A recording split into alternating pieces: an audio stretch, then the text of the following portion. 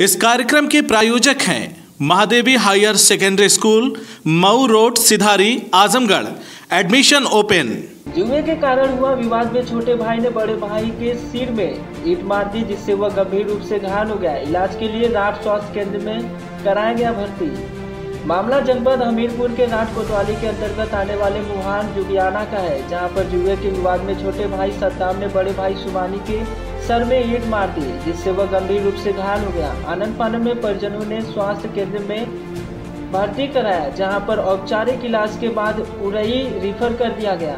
हालत खराब देखकर उरई से झांसी के लिए रेफर कर दिया जहाँ इलाज के लिए ले जाते समय रास्ते में ही उसकी मौत हो गई। मृतक का नाम सुबानी पुत्र मन्नू उम्र 50 वर्ष निवासी जुगियाना बताया जा रहा है। क्या नाम है आपका? इमरान खान।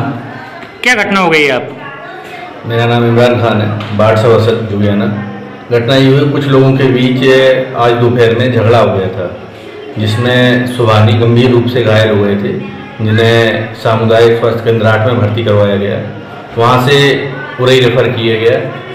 और, उरई में कुछ देर इलाज चला, उसके बाद उरई वालों ने भी मेडिकल कॉलेज झांसी के लिए रेफर किया, जिससे जिससे, की वजह से रास्ते में ही सुबहानी की मौत हो गई।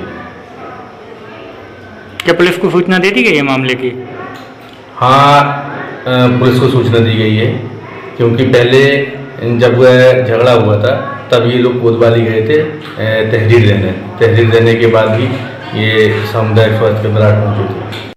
ये थाना राट की घटना है। एक सुभान पुत्र मनु जोगी मोहल्ला जोगियाना कस्बा राट इनकी उम्र करीब पचपन वर्ष के आसपास है।